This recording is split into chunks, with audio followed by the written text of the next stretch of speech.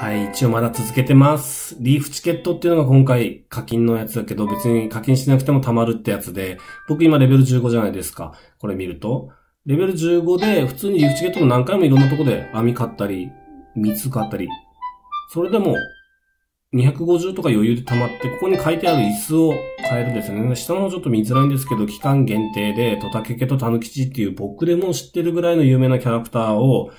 今回は椅子を買うことでよあの呼ぶらしいんですよね。そして250チケットで買う。250ってのは高い部類に入ると思うんですけど、それでもレベル15まで上げるだけで、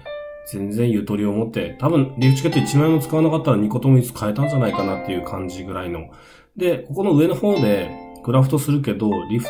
あの、このリフチケット使う椅子はクラフトが1秒もかからないんで、作ったらすぐ完成。そしてそれを置いたら、なんと、トタケケがやってきたんで、近づいてみたいなと思うんですけど、これですね。で、今んとここれ僕、よくわかんないけど、今までのシリーズがわかんないんですけど、ごめんね、音途切れてるな。あのー、ずっと聞いてるとなんか変化するみたいなのなかったっけ？あれマリオカートかな？これでも僕3分聞いてたんですけど何にも変化なかったです。とりあえずリチケットが250あれば、買ってそれを置けるっていうだけのちっちゃい椅子でしたよ、これ。これ見る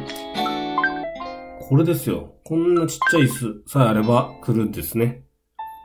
じゃあ次はタヌキチを手に入れてみたいなと思う。いらんか、あいつ。